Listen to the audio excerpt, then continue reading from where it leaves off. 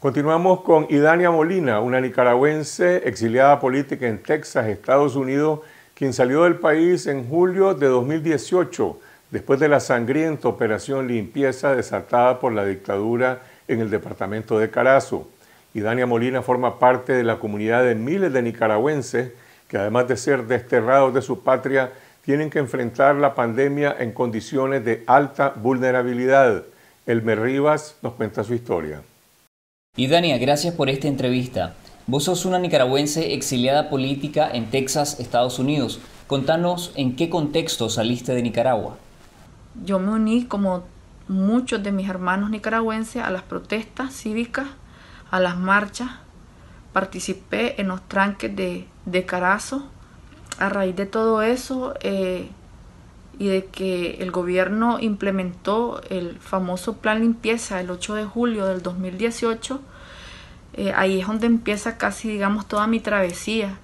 Eh, yo salí en, el 28 de agosto de, de Nicaragua, rumbo hacia Costa Rica. Según yo iba para Costa Rica huyendo.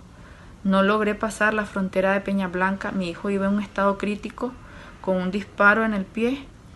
Eh, yo iba con una hemorragia fuerte, estaba lleno de policías y paramilitares en, la frontera, me dio miedo. A raíz de todo eso, nosotros decidimos huir, nos regresamos de Peña Blanca y nos venimos hacia el norte. En la travesía del camino nos logramos encontrar con la caravana de migrantes, fue la caravana más grande eh, que venía para el 2018, donde venían 8.000 emigrantes. Éramos la única familia nicaragüense que venía ahí, porque la, eh, eh, en la caravana viene un censo, vienen recogiendo una lista. Entonces eh, éramos la única familia nicaragüense que venía ahí. Y pues, gracias a Dios, pues logramos llegar. No fue fácil porque mi hijo venía en muletas, venía en silla de ruedas, yo venía con una hemorragia. Cuando entraron a buscar a mi hijo en, a mi casa, los agentes que entraron abusaron de mí.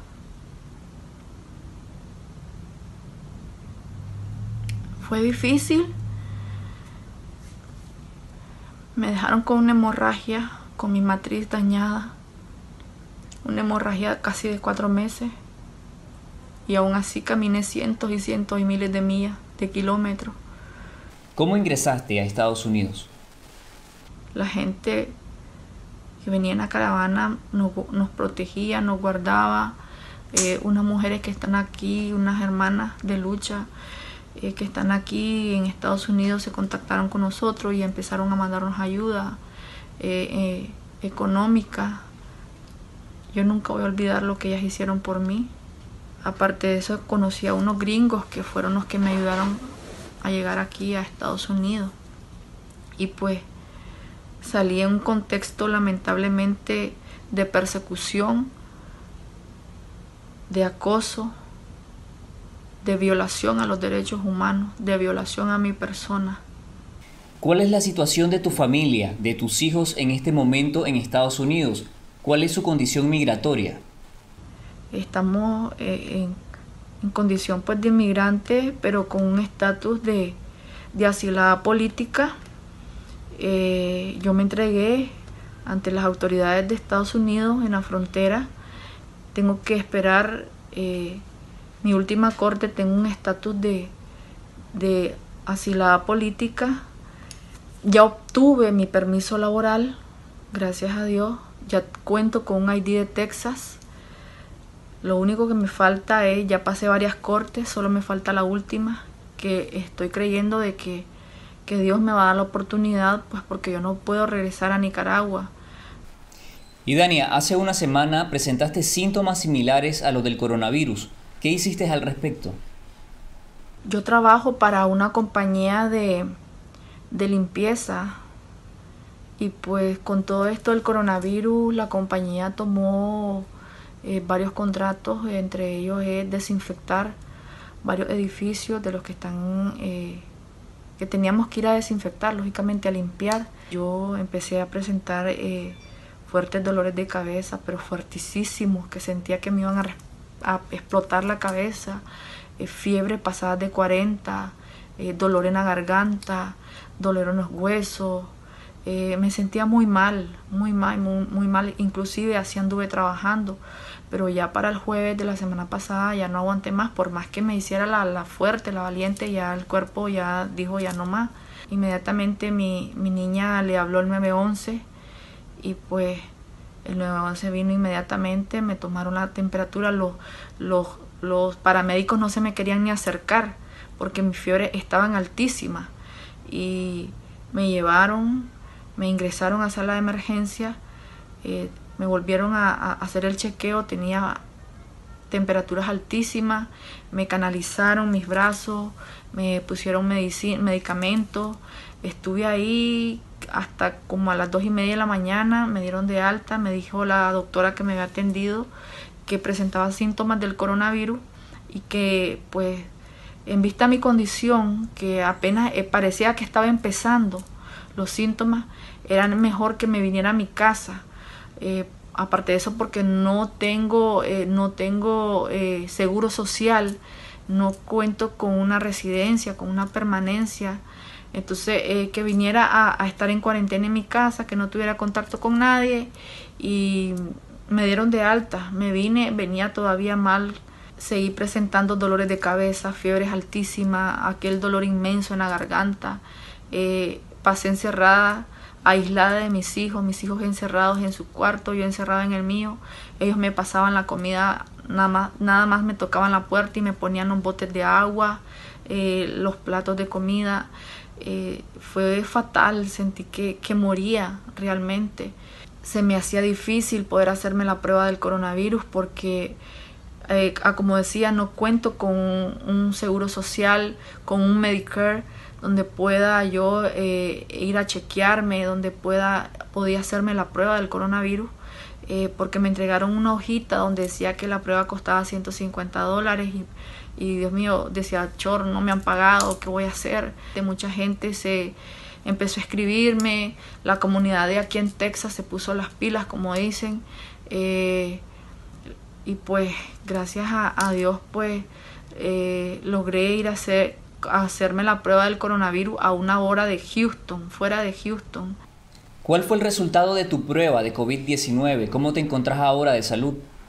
Gracias a Dios me dieron el resultado ayer y pues antier y donde dio negativo lo que me salió fue que tengo una fuerte infección pulmonar que tengo que tratarme Estados Unidos se ha convertido en el nuevo epicentro de la pandemia en el mundo. En el estado de Texas, donde vos vivís, se han registrado hasta este 6 de abril más de 7.500 casos positivos de coronavirus y más de 145 personas fallecidas. ¿Cuál es tu situación ahora? ¿Estás en cuarentena? ¿Estás tomando alguna medida de prevención? Sigo en casa, pero ya pronto voy a, reintegrarme a mi trabajo, me veo en la necesidad de hacerlo. Eh, Sé que no debería, pero me toca salir a trabajar.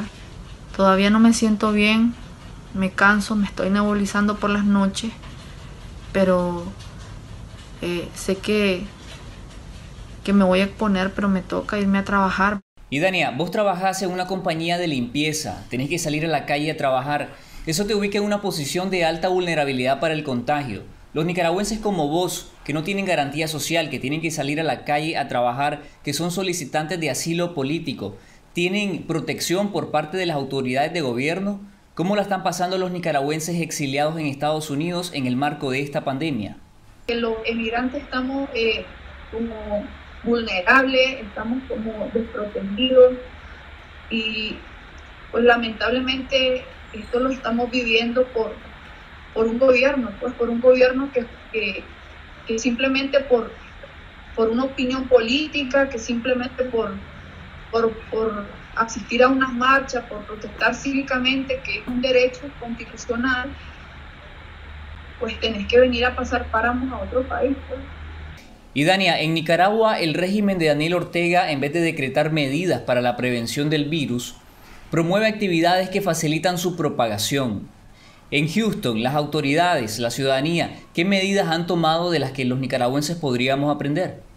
El estado de Texas, el gobierno ha implementado unas medidas que es el distanciamiento social, eh, eh, no puedes andar a ciertas horas de la noche, se está trabajando solo las debidas personas y debidas compañías que se necesitan, como eh, la salud, policía, bomberos, algunos supermercados, de ahí todo está cerrado, los parques están cerrados. La verdad que ha tomado muchas, muchas medidas de precaución el gobierno de, de Estados Unidos, algo que no ha hecho el gobierno de Nicaragua, algo que el gobierno de Nicaragua actualmente está, eh, está tratando de ocultar. Sabemos que hay mucha gente ya contagiada en Nicaragua y él sin embargo la, está tratando como una, una neumonía, como una gripe. Está tapando, quiere tapar el sol con el dedo.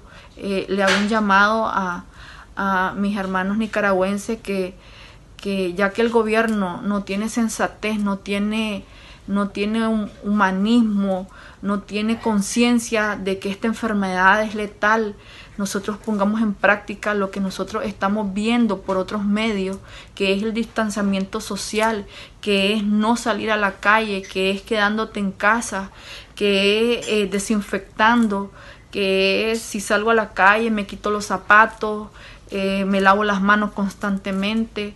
Eh, tomar nosotros mismos la iniciativa para que eso no se expanda en Nicaragua.